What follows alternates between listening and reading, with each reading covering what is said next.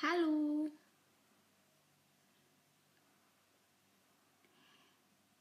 Ist jemand da? Có bạn nào ở đó? Ja. So.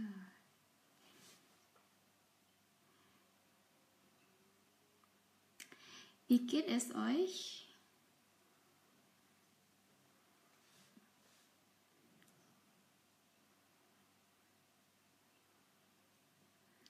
Ja, danke schön.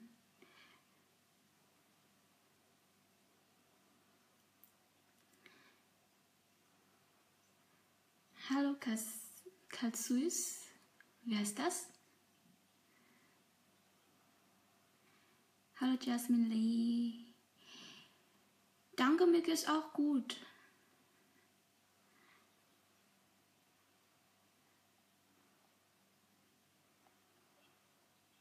Und dir, Jasmine?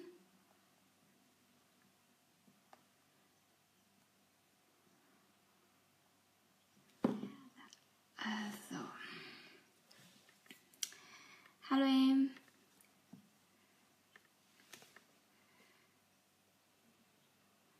Es geht. Ja.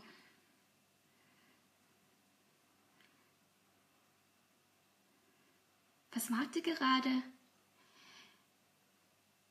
Auch gut? Hallo, Hio. Hallo, Zoom. Hallo, Victoria's Angel. An mm, hallo, Trang. Hallo, Lee. Hallo, Nhi, oder? Dankeschön, Thanh Trang.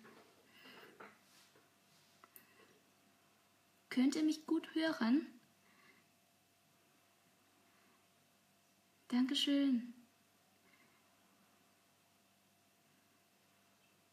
Các bạn có nghe rõ?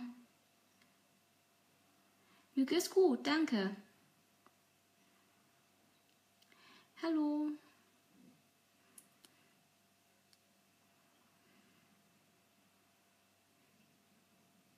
Hallo Hải Yến.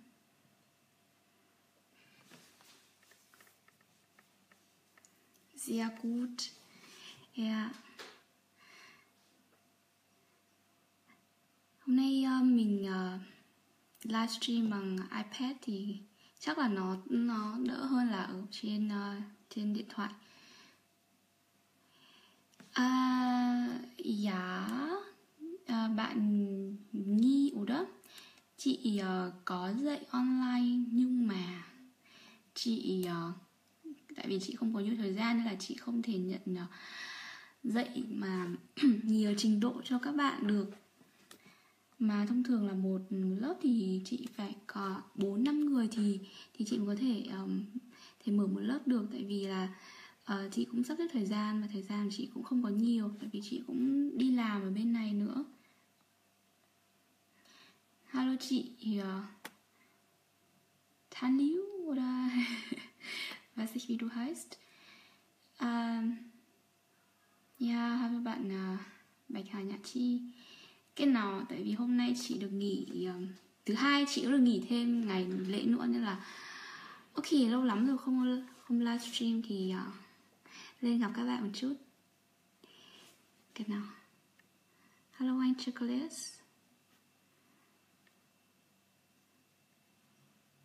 Hello nga.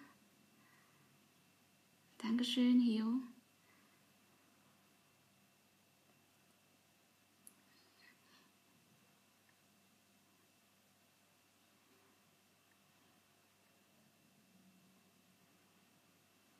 À, ờ, oanh bạn oanh nghe thấy chị nói bé hay sao chị nói uh, bình thường rồi đó em thử xem là cái uh, âm lượng của mình có hơi nhỏ không?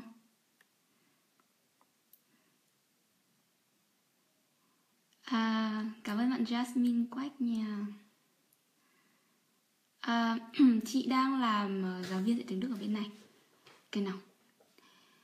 Chị dạy chủ yếu là cho các bạn uh, um, nhập cư ở bên này. Cái nào những cái bạn mà um, chưa biết gì về tiếng Đức và các bạn ấy sẽ phải học tiếng Đức trong một khoảng thời gian nhất định để mà có thể làm Ausbildung tức là làm học nghề. Dạ. Yeah.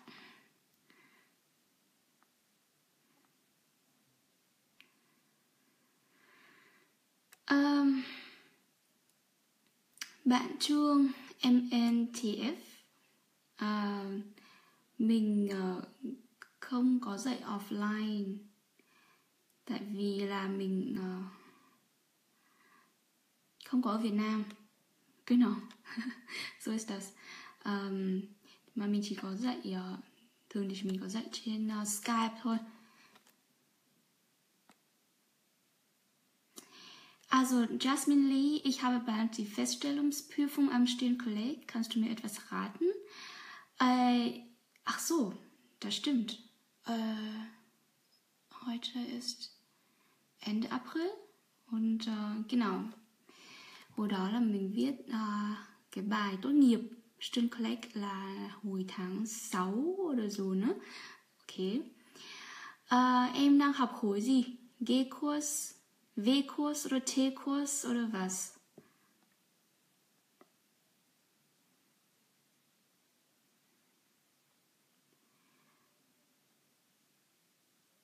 Also,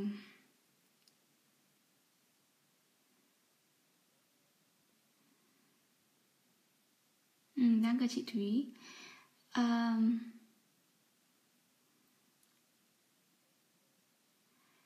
also, về nhiều câu hỏi quá. Um, các bạn chờ một chút nha. Um, yeah, chị có dạy bạn Si Long Nguyễn, chị có dạy trên Skype nhưng mà Hiện tại thì chị đang uh, chuẩn bị có một lớp A2 đó. Biết em đang học ở trình độ nào? Um, Rồi, bạn Thảo Lưu. Học tiếng Đức trong bao lâu thì có thể xin đi du học được.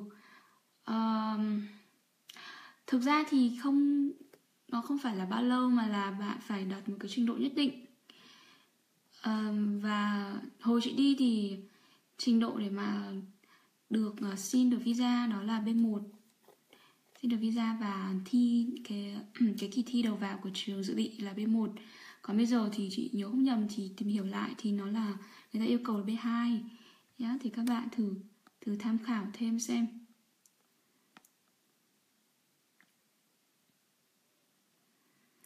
À rồi bạn Anh Chocolate chị, uh, hỏi về cái lộ trình học tiếng Đức mà bạn muốn tự học thì phải bắt đầu từ đâu.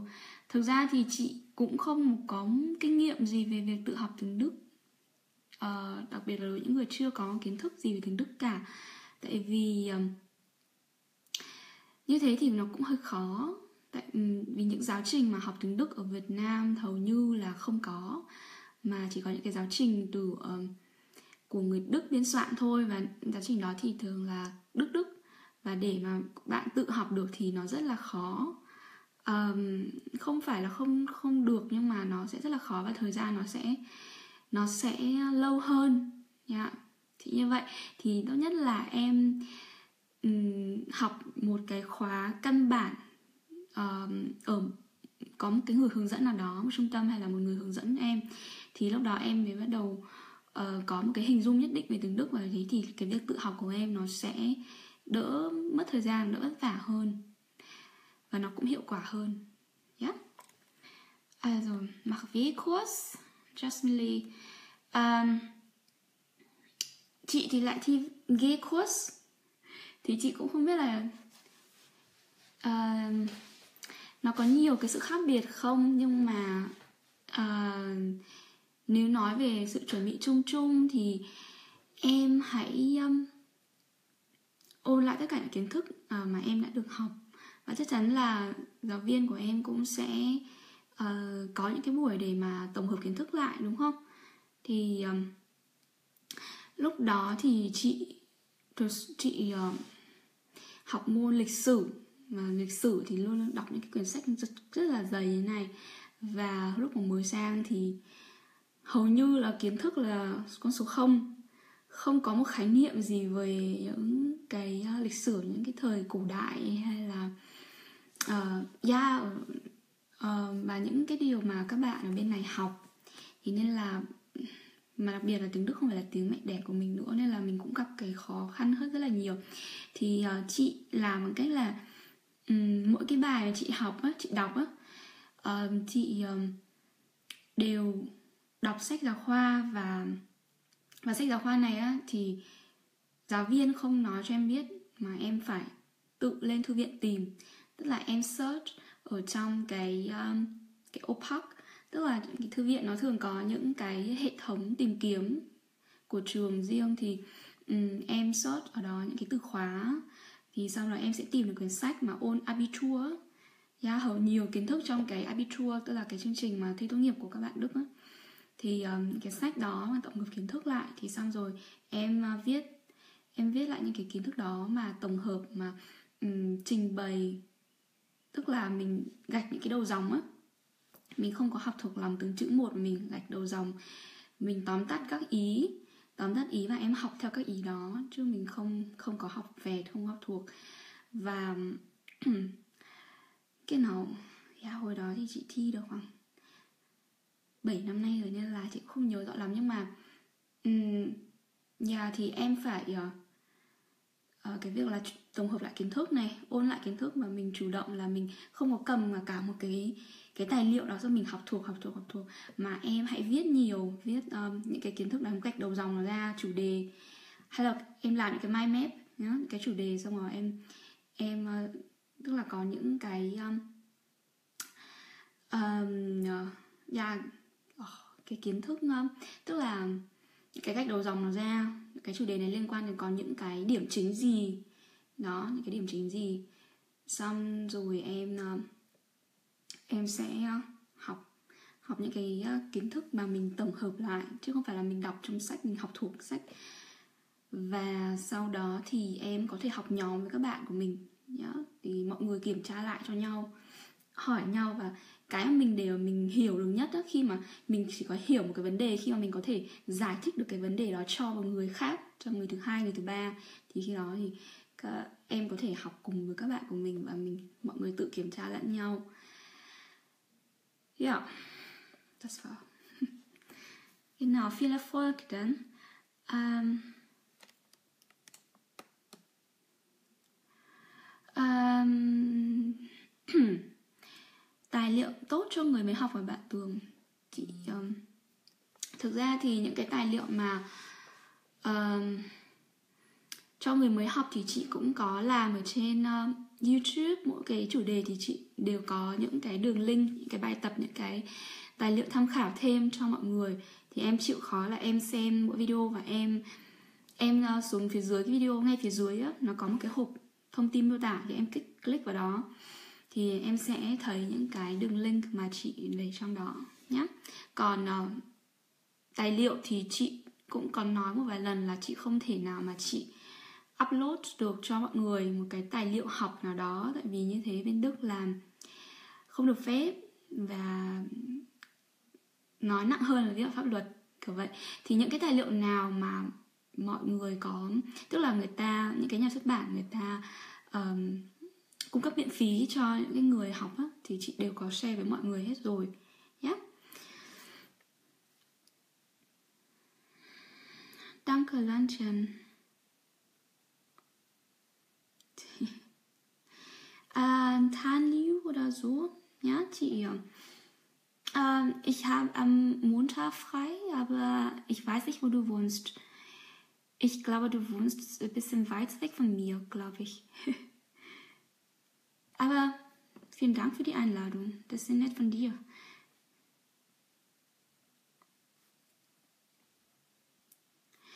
Äh, ja, bạn Hoàng Việt Ly, oder? Äh, chị là giáo viên tiếng Đức, genau. Ja. Chị uh, trước kia thì chị học uh, uh, bachelor thì là ngành DAF là Deutsch als uh, Fremdsprache. Nhưng mà uh, chị học master thì chị học chuyên về um, quản lý giáo dục. Tức là mình uh, nghiên cứu về những cái phương pháp dạy phương pháp dạy uh, và phương pháp um, phát triển trường học. Thì uh, nhưng mà hiện tại thì chị uh, đang làm giáo viên tiếng Đức và chị uh, thực sự thì đối với cái ngành này thì cơ hội nghề nghiệp nó chị nói ở thời điểm hiện tại thì nó cũng không phải là không có. Thậm chí là cũng tương đối tốt bởi vì là um, bây giờ thì tiếng đức không hiểu sao là các bạn lại rất là có nhu cầu học rất là nhiều. Có thể là vì lý do đi định cư này lý do đi đoàn tụ lý do là học nghề du học vân vân.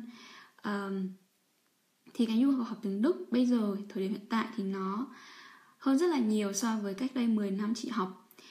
Um, tuy nhiên thì nếu như mà đối với những các bạn mà học cái ngành DAF này mà muốn ở lại Đức thì nó cũng không phải là dễ dàng tại vì mình à, dù sao mình cũng không phải là người bản ngữ. Và để mà người ta có thể là người ta uh, tuyển dụng mình uh, cho những cái vị trí dạy tiếng Đức như thế này thì mình cũng phải là uh, có đạt được một số những cái yêu cầu nhất định. Trong đó là cái việc là mình uh, phải cái khả năng phát âm của mình cũng phải tương đối tốt. Cái nào um, cái này thì đi phỏng vấn thì họ biết ngay. Uh, thì uh, đối với những bạn mà muốn học ngành này và muốn uh, ở lại đức thì chị khuyên là uh, các bạn nên uh, uh, tức là các bạn nên uh, um, cố gắng ngay từ khi mình bắt đầu cái chương trình học của mình thì mình hãy uh, học cho thật là tốt nắm chắc được kiến thức. Và bên cạnh đó thì mình cũng cần phải um, tích lũy cho mình những cái kinh nghiệm thực tế. Uh, chị thì khi mà còn uh, học năm thứ hai thì chị đã uh, đi làm tình nguyện dạy tiếng đức cho những người nhập cư những người tị nạn. Tình nguyện hoàn toàn là mình làm mà mình không có được nhận một cái gì hết mà mình làm chủ yếu là mình uh, lấy cái kinh nghiệm mà mình tiếp xúc với mọi người mà uh, cái công việc đó là những cái um, um, cái cơ hội rất là tốt để mà mình có thể là sử dụng những cái kiến thức mà mình đã học này. Và sau đó dần dần thì em sẽ nhận thấy là um, đó là những cái nền tảng cho những cái cơ hội về sau của mình. Thì Ờ, như chị đã nói thì là uh, mình sẽ phải um, yeah, um, có một cái ờ, kỹ năng sư phạm này và kỹ năng um, ngôn ngữ rất là tốt thì mới có thể um, học cái ngành DAF này và ở lại Đức có một công việc được. Cái nào? Hello bạn Hiệu Vinh.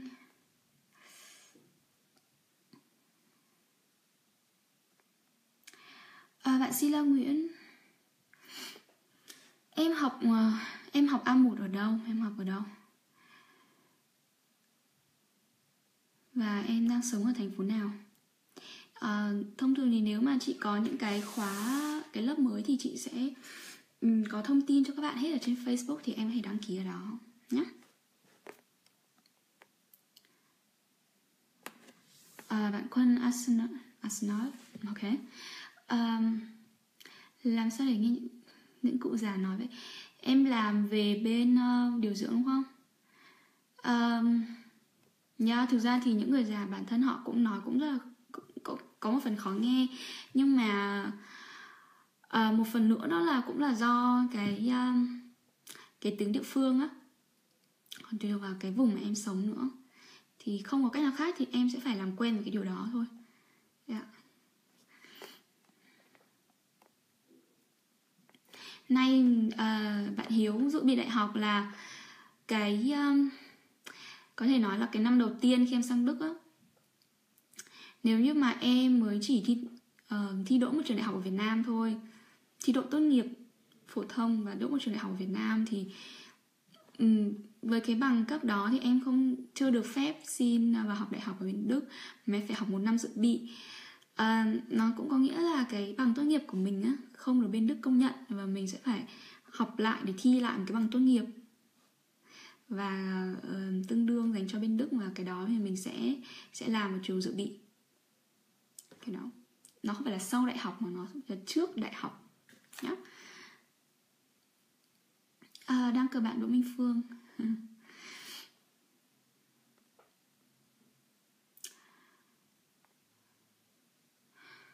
bạn Trần Phương Thảo em có bằng cao đẳng uh, và em muốn đi xuất khẩu lao động. Ok. Um, cái này thì chị cũng không rõ. Kind of on um, đi xuất khẩu lao động thì còn tùy thuộc vào cái uh, cái nơi mà hướng dẫn hay là bảo lãnh em đi nữa. Nhá cái cơ quan đó. Còn chị thì chỉ biết là chỉ có đi du học thì mình mới uh, tự túc được thôi.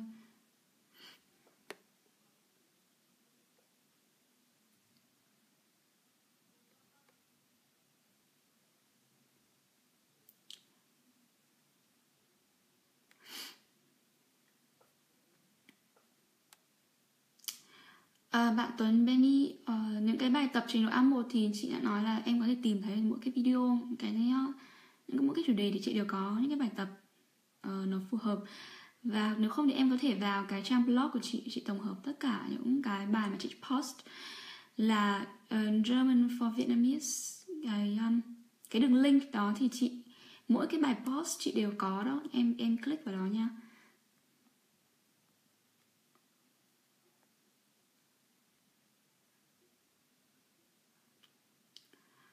À, bạn Trương MNTF à, ờ, mình không có dạy offline mình không có dạy ở dạy uh, dạy trực tiếp à, bởi vì là à, mình nghĩ là cái thành phố mình sống là không có ở gần thành phố của bạn. Trên à, và nếu mà có lớp mình chỉ dạy online thôi để trên skype thôi. Nhá. yeah.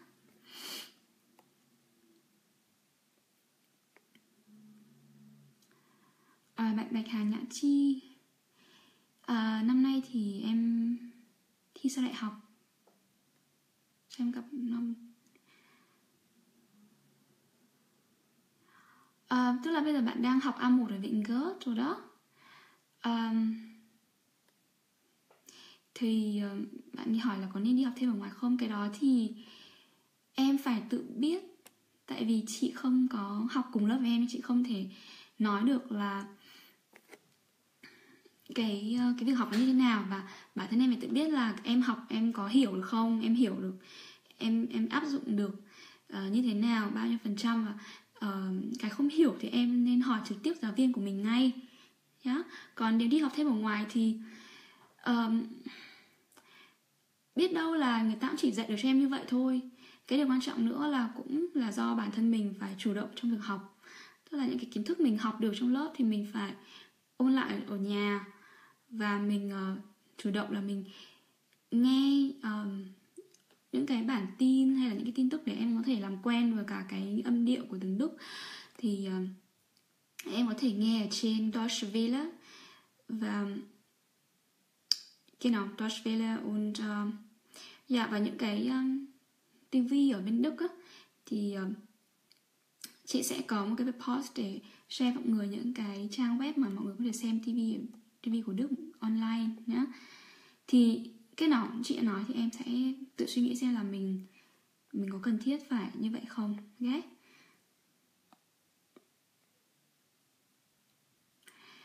À, bạn Trang, bạn học kinh tế thì thi dự bị là thi toán và tiếng Đức. À, Cái này thì chị không rõ lắm. Yeah, có thể như vậy và em em thử lên trang DAAD Việt Nam á người ta có sẵn những cái bài thi thử của các trường ở đó thì em em hãy xem xem.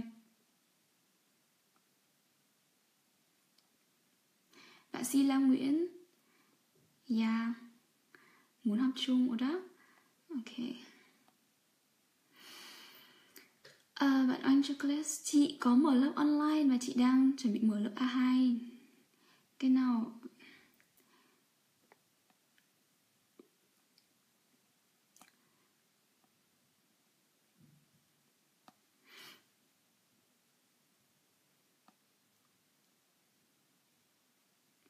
À, bạn Nguyễn Hữu Vinh.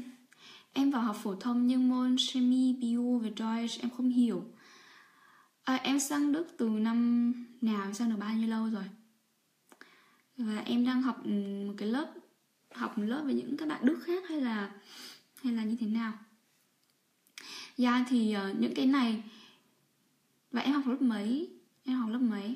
Những cái uh, những cái môn này thì đòi hỏi tiếng Đức chuyên ngành nữa tức là nó có rất là nhiều những cái từ cái từ chuyên ngành á và đối với một người mà mới học tiếng Đức thì thực sự nó rất là khó uhm. cái nào thì chị nghĩ là em có thể là uh, tham dự một cái uh, một cái khóa học intensive nào đó và thử hỏi xem ở trường mình có hỗ trợ những cái học sinh nào mà um, tức là học sinh nhập cư như em hay không về cái việc học tiếng hay không. Thì um, hay là những cái bạn ở Đức của em á chị không biết ở trường em như thế nào nhưng mà ở trường chị đang dạy thì có những cái bạn Đức ở những cái lớp khác các bạn ý cũng tình nguyện dạy những các bạn có nhu cầu tức là phụ đạo á phụ đạo cho các bạn có nhu cầu. Thì ờ, tức là mình làm bài tập mình có gì thắc mắc mình hỏi các bạn ý thì cái việc mà khi mà em còn trẻ thì em học tiếng bằng cách là em uh, em sử dụng cái ngôn ngữ đó nhiều em giao lưu nhiều với các bạn bằng tiếng đức thì như thế sẽ sẽ um, tốt hơn cho em.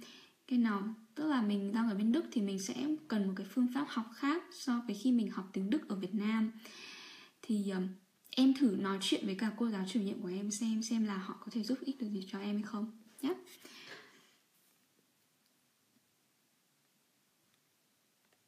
à, bạn anh Tú Hoàng sắp tới thi B1 à, thi B1 thì thực ra chị chỉ có thể nói chung được cho em cái tip chung thôi tại vì là cái tips mà cụ thể thì sẽ phải là người giáo viên người hướng dẫn em sẽ sẽ đưa ra cho em. À, bởi vì là học thì nó là một cái quá trình nó là cái quá trình và um, nếu như mà ngay từ đầu mình không học chắc được ấy thì cho đến cái lúc mà mình đi thi thì uh, để mà có thể đạt được kết quả tốt thì nó rất là khó. Bởi vì ngoại ngữ không phải như các môn khác là có thể uh, đôi khi là ăn may thì mình sẽ đạt được kết quả tốt khi mình đi thi. Nhưng mà thi uh, thi kiểu như ở viện gớt thì mình sẽ phải uh, thi bốn kỹ năng nghe nói đọc viết. Và kể cả mình có học tủ ở những cái kỹ năng um, viết và kỹ năng uh, nói.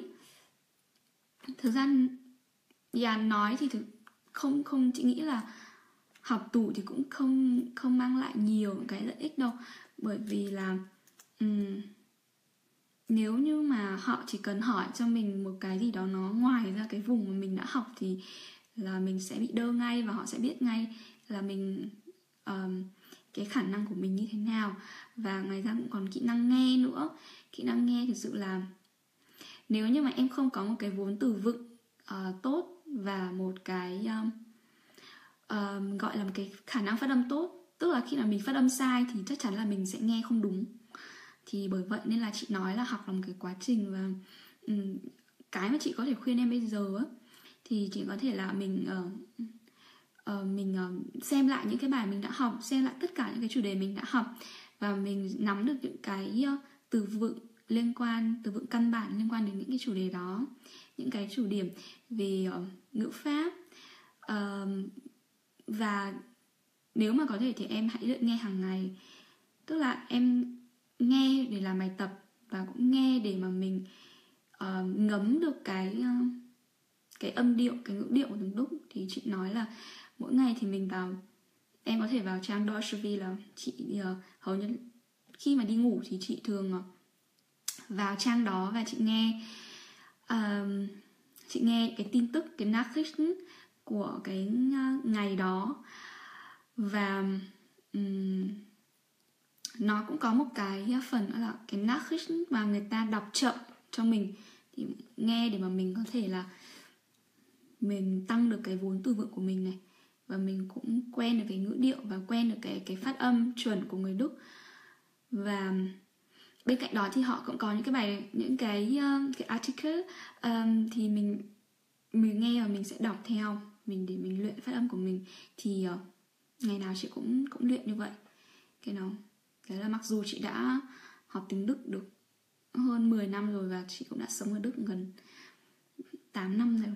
Dạ thì uh, mình học không bao giờ là đủ hết và mình luôn luôn là cái ngoại ngữ này Ờ, việc học ngoại ngữ thì luôn luôn là cần phải làm thường xuyên bởi vì mình cần có thời gian là mình mình không có rèn luyện thôi là cái ờ, khả năng của mình nó sẽ bị ờ, bị giảm đi.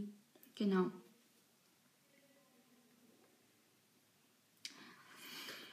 À, bạn Lena đang học Common đến hè này sang A2 chưa nói được nhiều về cái về ngữ pháp. Um,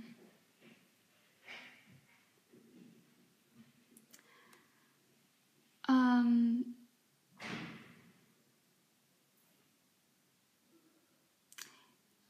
BQL là cái gì hả bạn? Một năm Dạ, uh, nếu như mà chị hiểu thì em đang ở bên uh, bên Đức đúng không? Giá thì uh, um, nếu mà ở bên Đức thì chị cũng đã có dạy những cái lớp mà dành cho những cái bạn mà kể cả những người đang đi học sang đi học tiếng Đức để mà làm điều dưỡng nhưng mà các bạn ở bên Ý sang.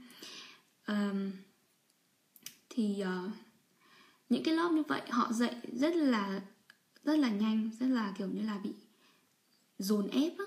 Thì uh, bắt buộc mình phải tiếp nhận rất là nhiều kiến thức trong một cái uh, trong một cái thời gian um, ngắn và cái việc đó thì um, nó sẽ dẫn đến là em sẽ phải um, cái nào em sẽ phải học? Um, đôi khi là mình không chưa ngấm được mà mình đã phải học cho những cái mới rồi.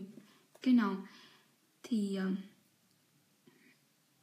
uh, chị khuyên em là mình uh, ngoài cái việc học trên lớp đó thì mình hãy cố gắng mình uh, uh, có thể mình tạo cái cơ hội mình giao tiếp được nhiều đối với những người Đức hay là những các bạn bằng tiếng Đức thì um, cái quan trọng khi mà em được bên uh, sống bên Đức đó là cái khả năng giao tiếp của em nó sẽ phải tốt chứ. Mình không có chú trọng nhiều về ngữ pháp không chú trọng nhiều về ngữ pháp như là khi mà đối với những các bạn mà đang uh, học tiếng Đức ở Việt Nam. Yeah. thì um, chị cũng không biết là em làm Ausbildung gì. Nó tùy thuộc vào cái Ausbildung mà em làm. Và um, câu nói chị cũng không đọc thấy câu hỏi của em nữa. Dạ thì nhưng mà chị có một cái lời khuyên cho em như vậy. Ok. Um, rồi bạn doãn quân bạn có câu hỏi gì vậy?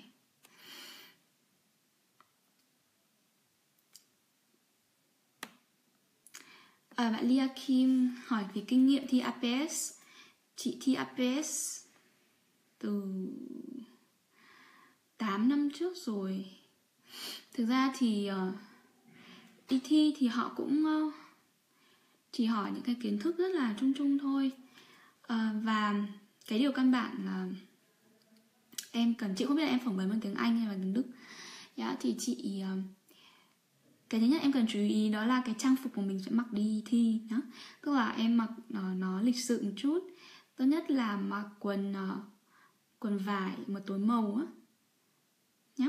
Và áo sơ mi chị nghĩ là chị không nhớ hồi đó chị mặc gì nhưng mà em nên tạo một cái ấn tượng uh, là mình uh, tức là mình là một người mà um, lịch sự và mình uh, có sự chuẩn bị tốt cho cái kỳ thi đó.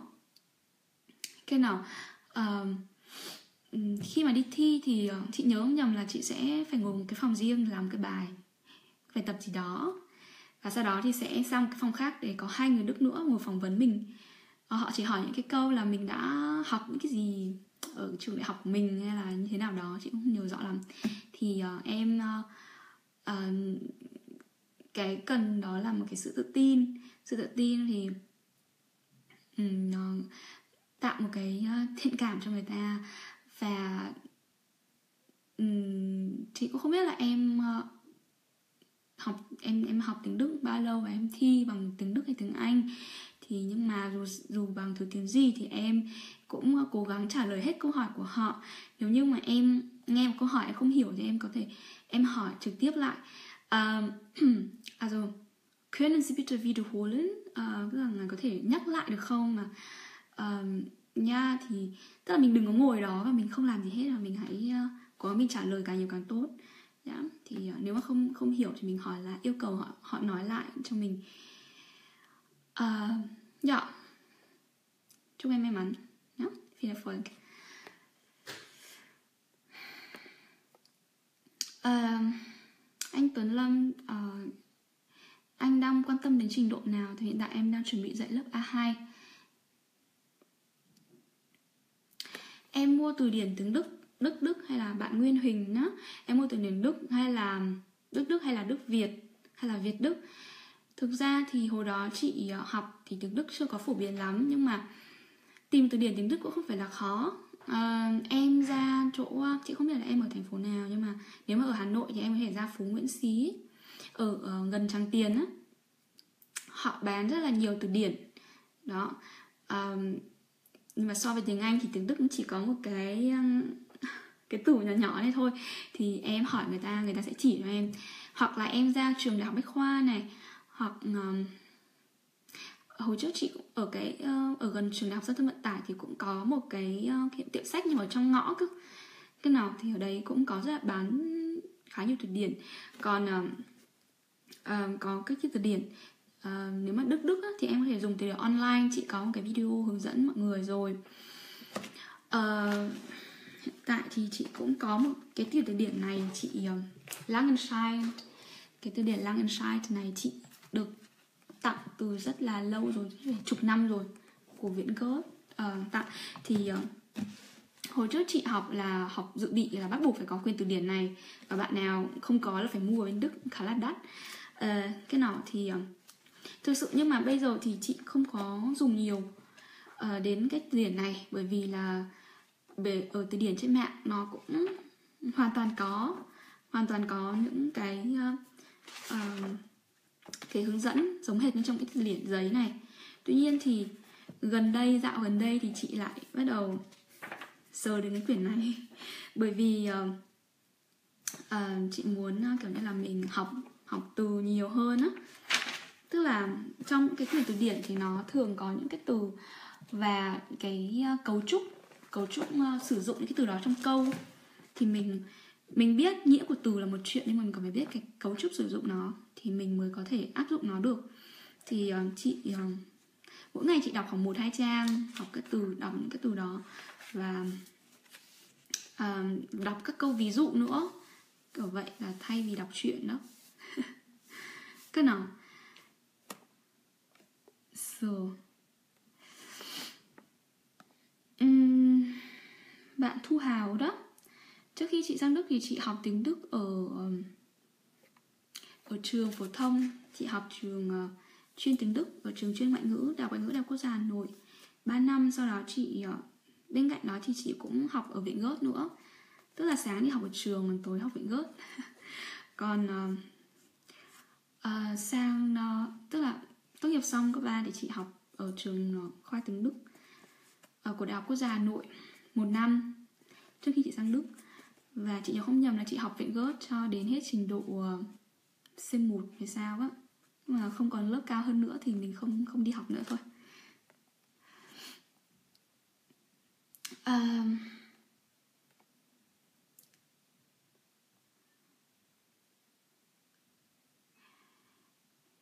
so chị học ờ, uh, Ulis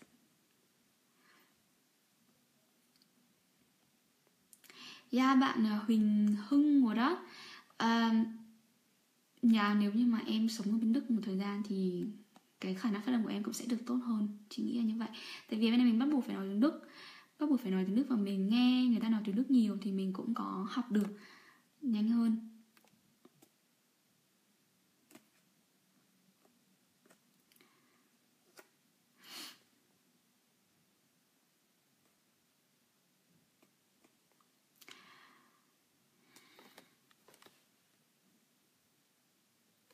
Dạ rồi anh à, Nhật Nam rồi đó à, anh um, tốt nhất là anh nên tham dự một cái lớp uh, khóa học tiếng Đức nào đó uh, ở trường hoặc là một cái trung tâm ở gần chỗ mà anh sống nhé thì uh, mình học những cái khóa giao tiếp căn bản thôi và có thể là người ta có những cái khóa dành riêng cho những người mà muốn học giao tiếp ấy. thì anh thử hỏi xem hoặc là ở trường ờ, uh, Volkshochschule Volkshochschule là trường uh, hay là tiếng Việt nó là ừ, những cái trường mà người ta dạy uh, dành cho không phải là cho học sinh hay sinh viên mà tất cả những ai có nhu cầu học kể một cái môn gì thứ tiếng gì thì đều có đấy thì anh thử search xem nhá. Ở chỗ anh thì xem họ có cái um, cái bút cái khóa nào mà phù hợp với anh hay không.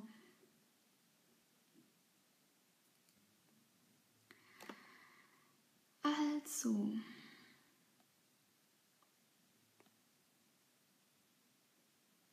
Bạn Nguyễn Linh Chi Theo chị làm thế nào để du học theo đúng cùng đúng nghĩa của nó? Du học đúng nghĩa của nó. Um, căn bản đó là bản thân em tự bản thân em muốn đi du học chứ không phải là ai bắt em đi du học hay là em đi du học vì trào lưu. Um, bản thân em phải muốn um, mình ờ, được đi ra thế giới và mình ờ, được học hỏi và mình được trải nghiệm để mình có thể trưởng thành hơn mở mang về uh, kiến thức của mình. Thì uh, thứ nhất là motivation độ có động lực bên trong chính bản thân mình nhá. Và thứ hai đó là em xác định được là khi mình đi du học thì bắt buộc mình phải thay đổi hoàn toàn mọi thói quen của mình uh, khi mà mình sống ở nhà với à, bố mẹ với gia đình thì mình mình làm con người như thế nào thì lúc đó mình hãy quên đi. Tức là mình sang sang một đất nước khác và mình sẽ là một con người khác mình sẽ có một cuộc sống hoàn toàn khác. Um, và kể cả khi mà mình có những cái khó khăn á thì em hãy um, nhớ lại được cái mục tiêu của mình và em hãy uh, bằng mọi sức lực của mình để vượt qua những cái khó khăn đó. Thì chắc chắn là em sẽ qua được.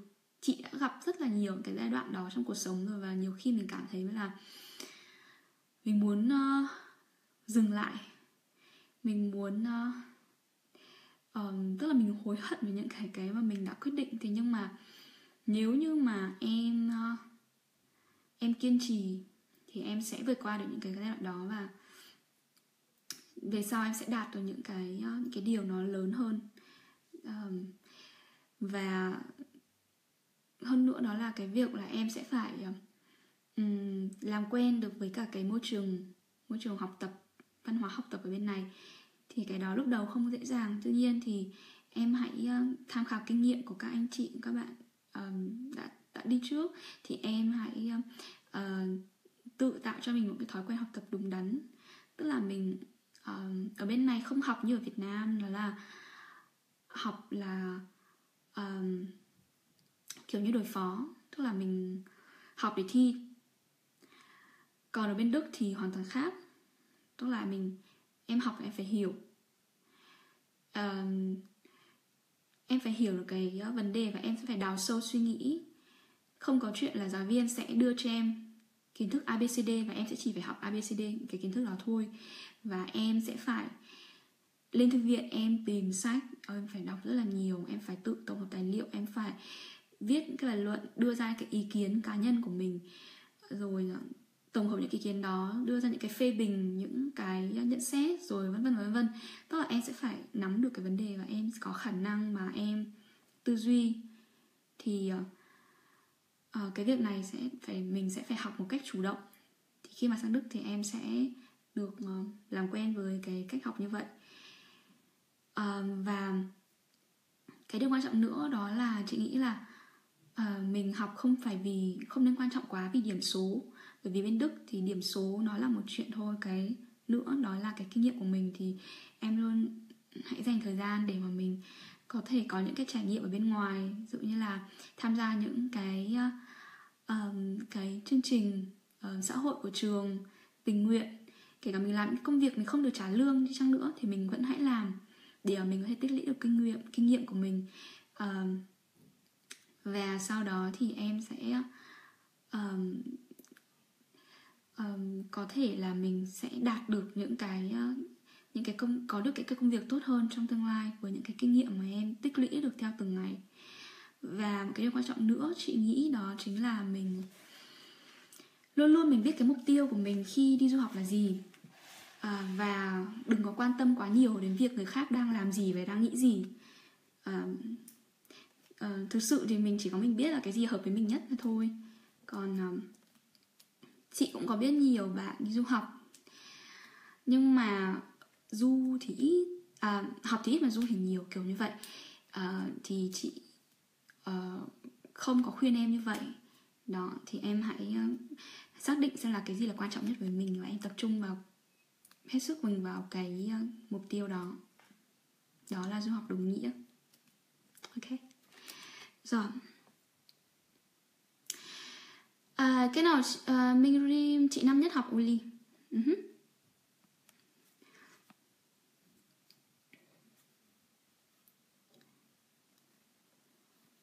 À, Phạm Thu Phương Em học dự bị phổ thông ở Việt Nam là A1 rồi sau đó học tiếp.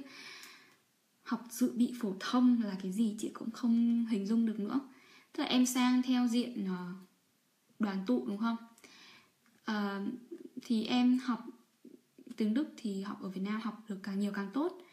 Rồi sau đó thì họ sẽ yêu cầu em học những cái gì thì em sẽ phải làm làm theo như vậy.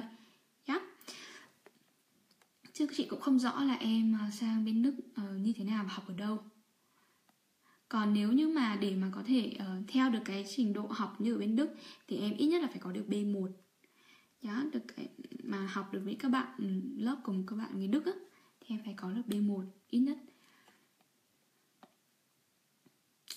À, bạn Duy Quý Trần nếu mà có lớp mới thì chị sẽ à, báo trên Facebook nhé hiện tại thì chị đang uh, có lớp A2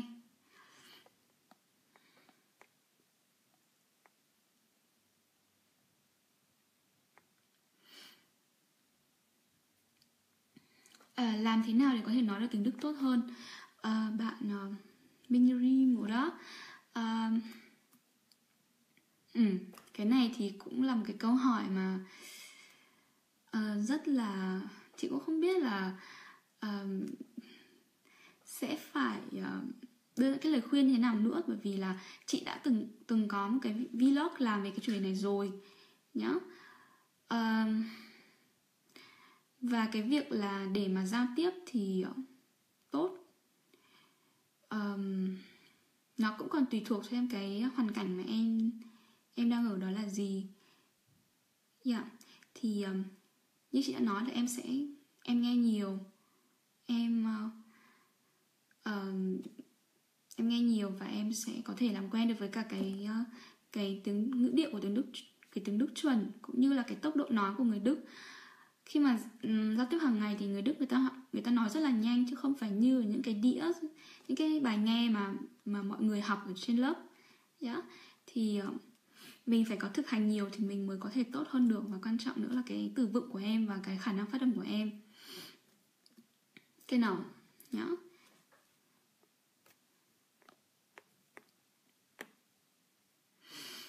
à, cảm ơn võ huy năng à, mình nhìn chắc là không không không biết là có khác hay không. Dạ. Chứ mình cũng ờ, dạ không có cái không có làm gì hết. Mình học ngành dạy tiếng Đức và tức là ngành Deutsch als äh, Fremdsprache Schulpädagogik und äh, Schulforschung und Entwicklung tức là uh, bachelor thì mình học về uh, dạy tiếng Đức về giáo dục học và về um, tức là có ngành chính là ngành học về giảng dạy tiếng Đức như là ngoại ngữ ngành phụ của mình là ngành về sư phạm trường học. Tức là mình học về uh, những cái phương pháp giảng dạy tâm lý sư phạm rồi uh, hệ thống giáo dục vân vân vân vân. Và sau đó học master thì mình học chuyên về việc quản lý chất lượng quản lý và nghiên cứu về chất lượng của trường học. À, các bài mình dạy trên YouTube thì không có phân theo A1, A2, B1 mà mình dạy ra chủ đề và những cái chủ đề nào mình cảm thấy là có thể khó đối với những người người Việt Nam học tiếng Đức thì mình sẽ làm.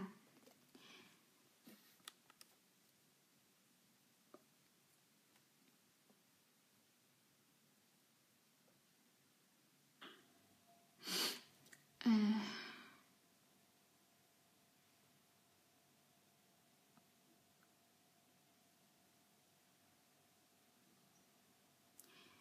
dự bị bên Đức thì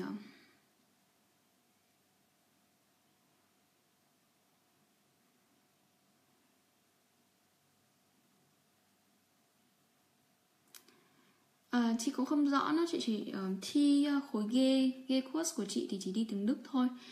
Nên là nếu mà những cái khối khác thì chị không biết là sẽ thi những cái chương trình như thế nào. Tuy nhiên là em phải lên trang DRRD nhá VN và em sẽ có thể xem được những cái bài thi mẫu của các trường ok về em sẽ thử tham khảo xem xem là mình uh, có làm được những cái bài đó hay không nhá tự đánh giá được trình độ của mình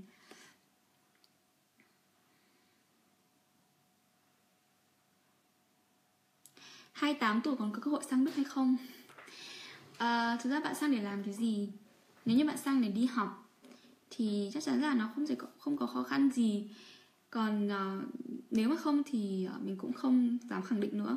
Nhưng mà mình có một cái người bạn khá là thân, không phải là người Việt Nam nhưng mà bà um, bà hiện tức là khi mà đi học ấy mà còn học ờ, uh, 50 tuổi mà vẫn đi học đại học nhá yeah. cái nào thì uh, không có gì là không thể cả À, uh, so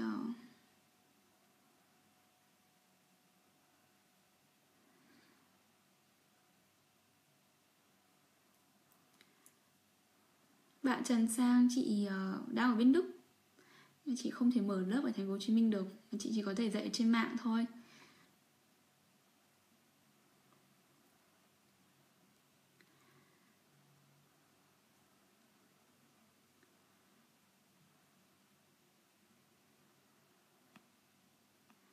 à, so.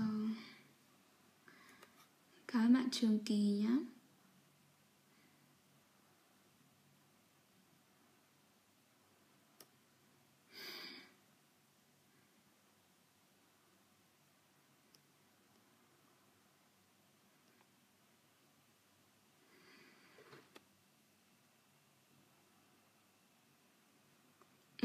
bạn Kha Phạm uh, quan tâm đến cái việc là uh, phản xạ để nghe tốt. Uh, cái này thì uh, em cần phải có một cái từ vựng vốn từ vựng nhất định nhá vốn từ vựng nhất định và một cái uh,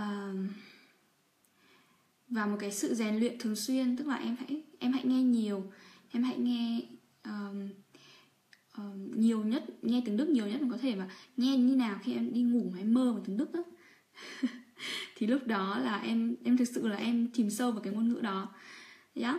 yeah. um, và cái ờ, nếu như mà em mà không ở bên đức thì cái việc uh, ngoài cái sự cố gắng của em thì cũng cần có một cái người giáo viên hướng dẫn em uh, có một cái trình độ nhất định nữa có thể hướng dẫn em um, uh, cái uh, tức là mình nắm được cái kiến thức rất là tốt và cái có cái kỹ năng tốt được.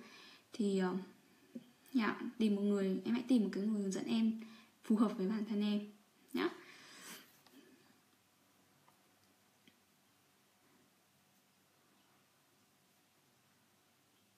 bạn Lê Nguyễn Lê Phương Nguyên thì cái nào nếu mà em học xong một năm ở Việt Nam chị nhớ không nhầm thì em sau này em cũng phải học dự bị nhưng mà em phải phải có được cái bằng DSH nhá. Được bằng DSH thì chị, chị thấy là thi cái bằng đó còn khó hơn là thi dự bị nữa.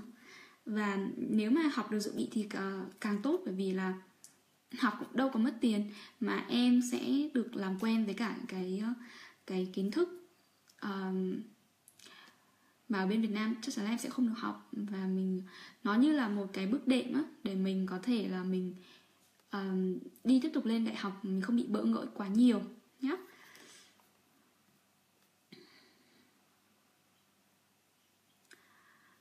also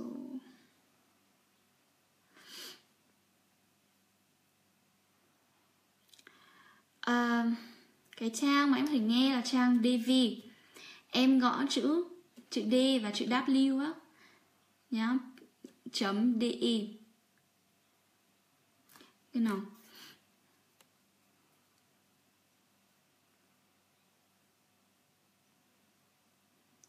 Also.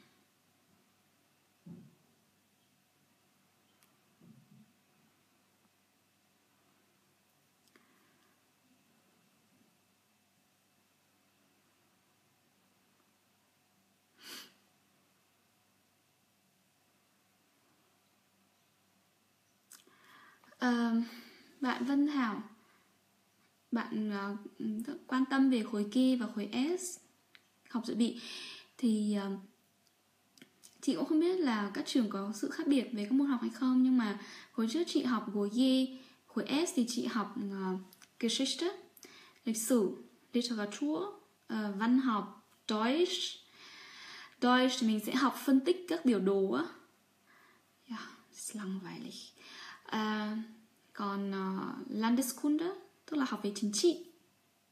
Học về uh, nhà các thể chế chính trị vân vân vân vân. Và có môn English tiếng Anh yeah. Thì um, um, lúc đầu chị đi học chị cũng không có hiểu nhiều lắm đâu. Nghe cũng không có hiểu nhiều lắm. Thế tuy nhiên là mình cũng mình chủ động và mình đọc uh, tìm hiểu lại các kiến thức trong sách vở á trong sách trong sách ở trong thư viện mình đọc mình đọc nhiều sau đó uh, như chị nói là mình, mình viết những cái tổng hợp lại kiến thức mình gạch đầu dòng ra những cái ý liên quan đến cái chủ đề này. Đó thì sau đó mình uh, mình học những cái từ vựng chuyên ngành nào mà mình không biết thì mình tra và mình lập thành một cái list. Um, rồi sau đó chị dán xung quanh phòng dán trước bàn học. Thì mình nhìn thấy những cái từ đó hàng ngày. Thì dần dần khi mà mình mình đọc những cái đọc sách đọc sách hay là nghe bài học mình đọc những cái từ đó thì mình mình sẽ hiểu được nghĩa của nó. Nhá thì um, khi nào em chỉ cần chăm chỉ thôi là là em sẽ uh, có thể qua được.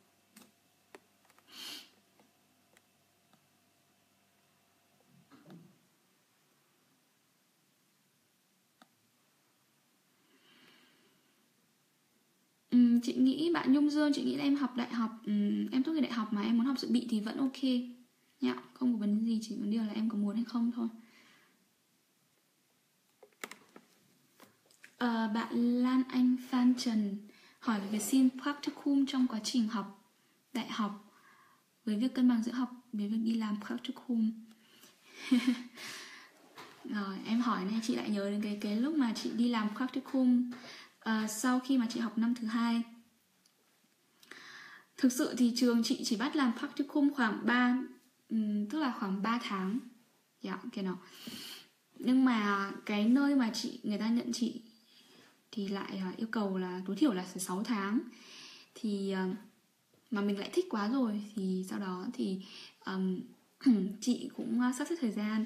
Tức là rất là may là chị xác định được rất là sớm là khi nào chị làm practicum thì uh, những cái môn học cần thiết chị đã học hết trong những hai cái năm tức là bốn cái kỳ trước rồi.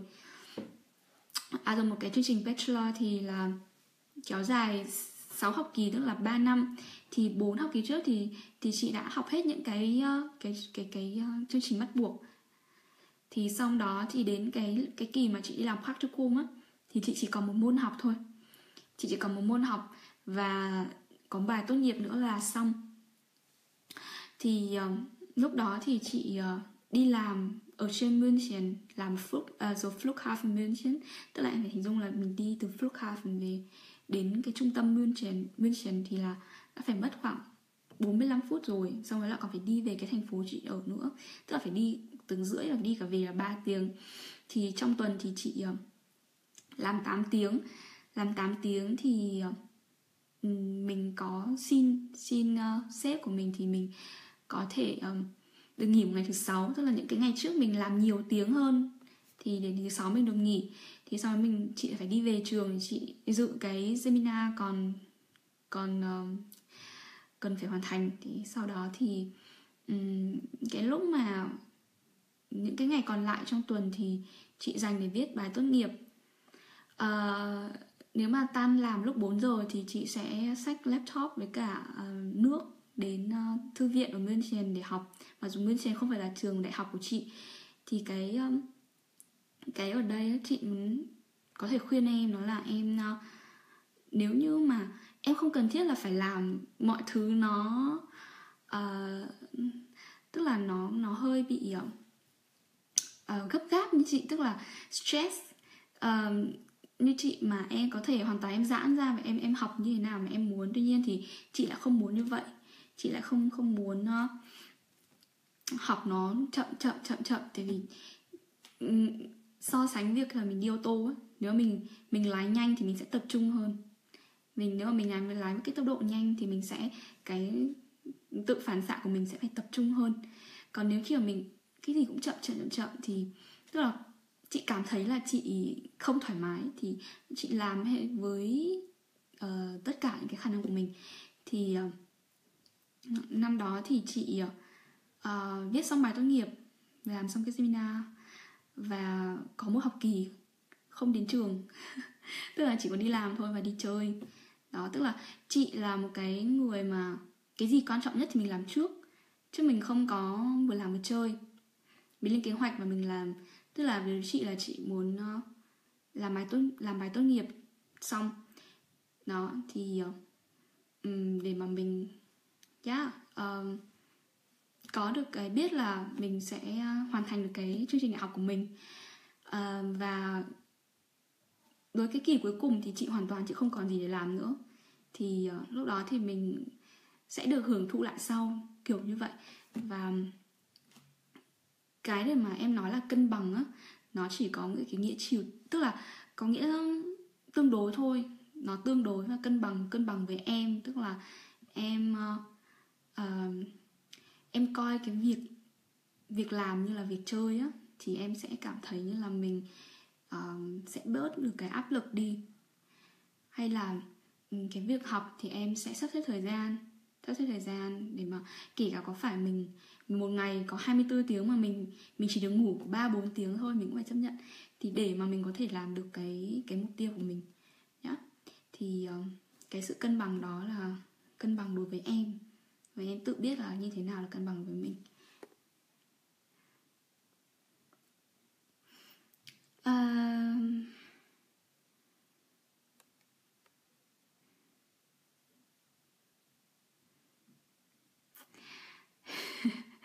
bạn Nhi Đỗ. Also also also nó là một cái um, uh, tức là một cái particle là cái câu cửa miệng á. Azu ừ, chứ phải là azu. Yeah. Còn ach so ach so tức là mình à như thế à thì nó lại là khác. Còn also also ich denke also uh, ờ, yeah tức là nó là cái câu mà câu đệm cái từ đệm đó. Chứ phải là azu. Nein also ähm, hm. rồi có lẽ là mình sẽ chỉ trả lời một vài câu hỏi của các bạn thôi tại vì là mình đã nói chuyện hơn một tiếng rồi. Nhá. Yeah. um, à rồi Bích Ngọc mình học uh, tiếng Đức ở Hà Nội và sau đó mình sang bên này học ngành dạy tiếng Đức Deutsch als Fremdsprache. À, đăng cờ Phan Thị Hải Yến. So, so. Còn bạn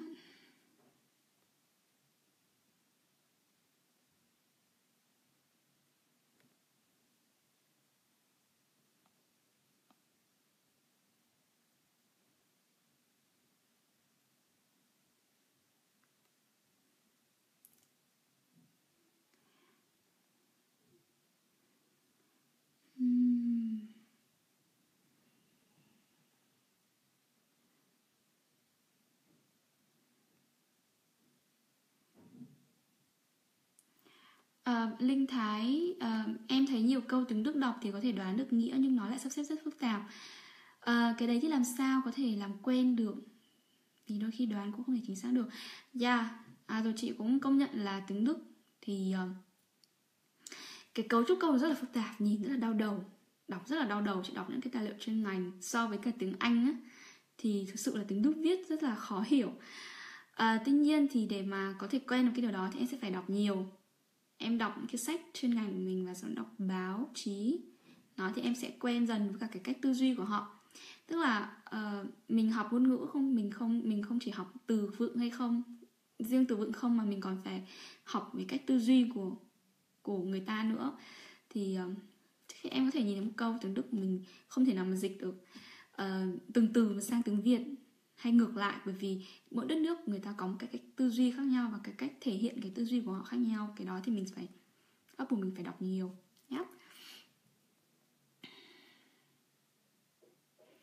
À, chị Nhung Nguyễn ờ, bao giờ có lớp A11 thì em sẽ thông báo trên Facebook nhé.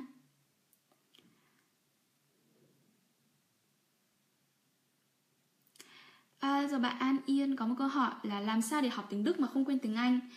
À, Thực sự thì mình thấy cái câu hỏi này cũng khá là hay và mình sẽ chia sẻ với các bạn trong một cái um, bài post trên Facebook nhé.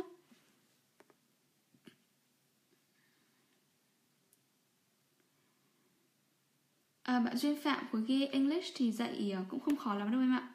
Tầm tương đương với cả B1 đấy.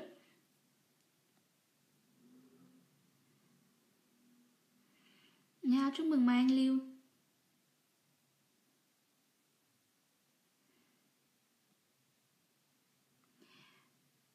Um, Bạn Thủy Happy có hỏi một câu là um, về một về cái ờ, khóa học thi DSH để học master. Um, tất nhiên là có một học phí rồi bạn. Yeah, có mất. tại vì cái này nó là cái um, cái nhu cầu uh, của mỗi cá nhân. Tức là không phải ai cũng sẽ phải học cái DSH đó mà. Tức là bạn cần phải có một cái chứng chỉ ngoại ngữ tiếng Đức để mà có thể xin được vào cái vào trường đại học thì thay nếu như mà không học student collect không học dự bị thì các bạn thì bạn sẽ phải học DSH thi DSH cái này thì bạn có thể tham khảo trên uh, trên mạng nhé. Tức là mình có DSH có một cái trang riêng á thì bạn search Google đó và bạn có thể tìm được những cái um, cái đề thi mẫu những cái tài liệu hay là những cái nội dung của cái kỳ thi này ok? Mình thực mình không có liên quan đến DSA mình không có đã không có động gì đến DSA hết tại vì mình học về student college ờ, và mình tốt nghiệp dự bị và mình có cái bằng tốt nghiệp đó để mình uh, xin học ở trong trường uni. Cái nào. So hôm nay thì mình nói chuyện cũng khá là lâu rồi không các bạn. Uh, mình uh, rất là cảm ơn những cái câu hỏi của các bạn những cái uh, sự quan tâm của các bạn. Và Ờ, có bất cứ một chia sẻ gì thì mình sẽ ờ, chia sẻ trên trang Facebook của mình thì các bạn hãy nhớ ghé qua xem nhé. Ok, còn bây giờ thì tschüss. Ein schönes Wochenende. Tschüss.